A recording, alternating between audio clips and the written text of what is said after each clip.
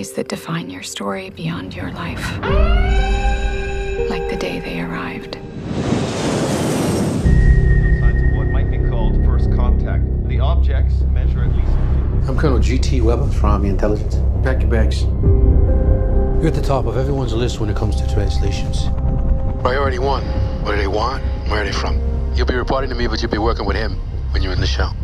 That's what they call him, the UFO.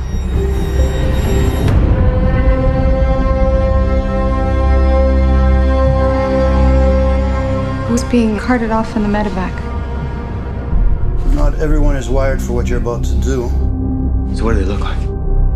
You'll see soon enough. Every 18 hours, a door opens up. That's where we go in.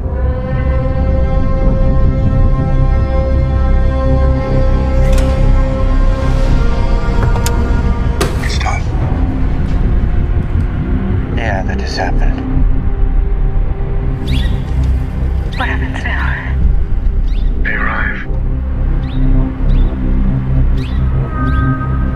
See me. Dr. Banks? Are you insane?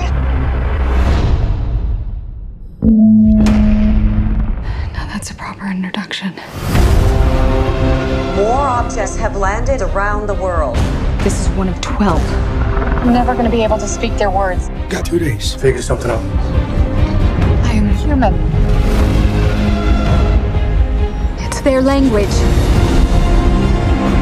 We need to make sure that they understand the difference between a weapon and a tool. Language is messy, and sometimes one can be both. Are you dreaming in their language?